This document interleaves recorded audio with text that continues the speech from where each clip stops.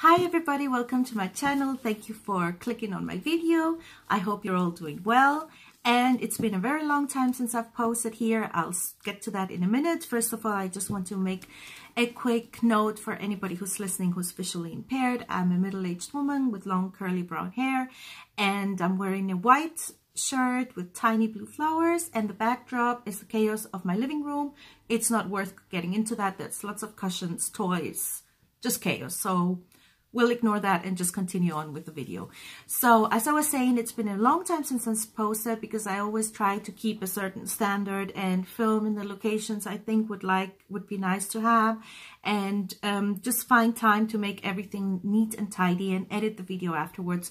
But then if I do that, I notice that just the months go by and I never get to do the things the way I want them to. So I just opted for an all natural look, as you can see, no makeup, the hair's everywhere. The living room is everywhere as well. But I really do still want to continue the conversation on BookTube about books. So let's get into the video. This Today I would like to review a book by Salman Rushdie that's called Luka and the Fire of Life. Um, my edition is from Random House and it's a short book that has 218 pages. So quickly before we get to the book review, I heard and I have Salman's Rushdie, sorry, Salman Rushdie's Midnight, Midnight's Children. I'm sorry, I'm not editing this out. I'm just going with the flow, so please bear with me. So, um, Midnight's Children, I have it. I haven't read it. I'm kind of scared of it. I don't know why. I think I opened the first page and then I kind of shied away and always thought, oh, for Salman Rushdie, you definitely need lots of background knowledge about all kinds of stuff, politics and um, history and everything.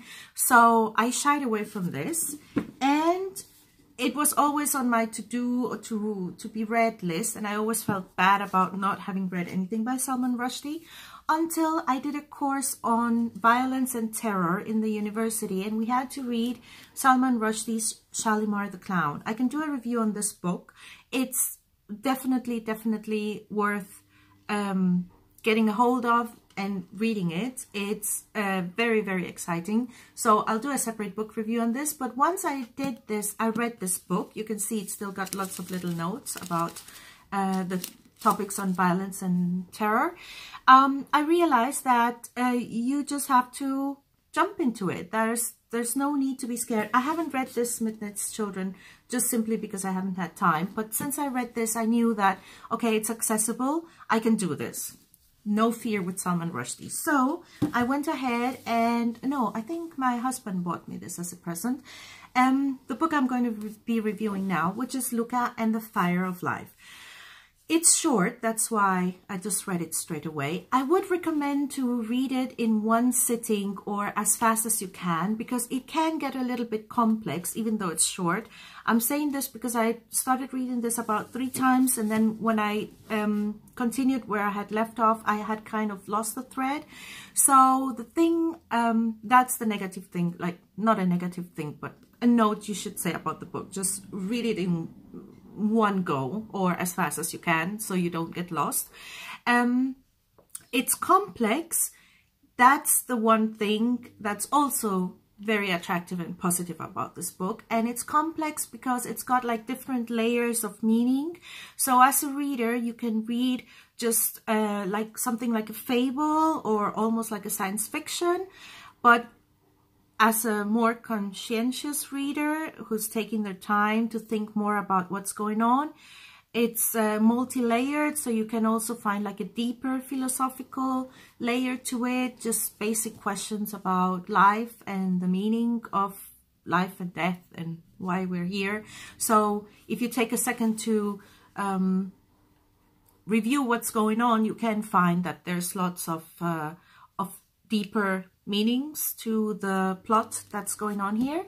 And finally, it's also entertaining and it's very fun to read because it's got like this layer of folklore and mythology. And I'm sure um, you don't have to know much about those things, but if you do have a background in those topics, then it's also very exciting and it's funny. And um, I'm sure I missed a lot of uh, references on or allusions, for example, in topics I don't know much about, like 1001 Nights. So fairy tales, folklore, mythology is also a layer that's interwoven into this book. And uh, overall, I you just get like a very uh, fuzzy sensation of well-being. I don't know. I, I didn't see it very negatively. I always thought it was kind of uplifting when it's got to do with the topics of life after death and um, missing family members. And I, I thought it was quite touching. And uh, it's a craft, I think, to weave all those topics together and still make it fun and still put in some science fiction and even video games. So if you like video games, you'll probably find this also entertaining. And I think that's just uh, um, a genius way of writing that there's something in for everybody. And like I said, it's short.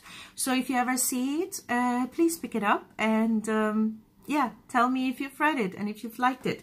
So, um, as I said, if you're interested, I can always do a review of this book.